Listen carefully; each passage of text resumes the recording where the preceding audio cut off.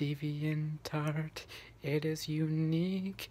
I've got an account named DeSereno. I go on, post random stuff, and it's very, very weird.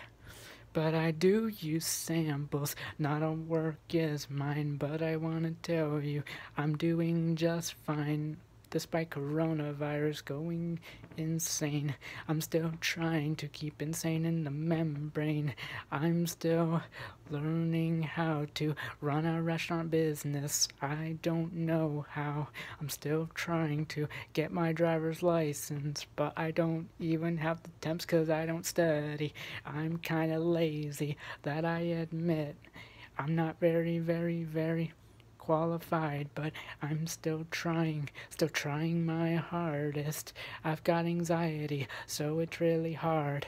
But there is one thing that I want to say to you is that if you don't know my DeviantArt, it is DeSereno. You should go and check it out. It's really cool.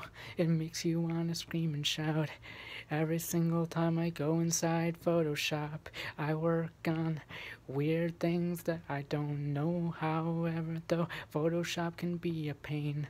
But however, though, right now that's the only thing that is able to keep me sane.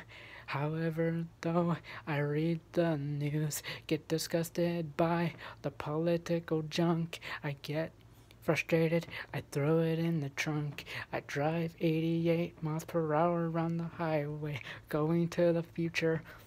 I don't know why. I just really want to meet Michael Jackson, get a picture with his autograph. I don't know why.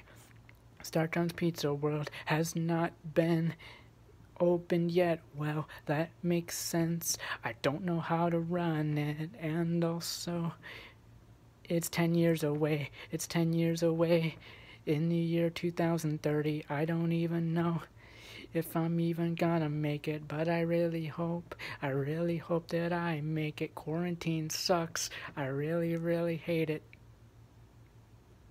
Bye bye, guys.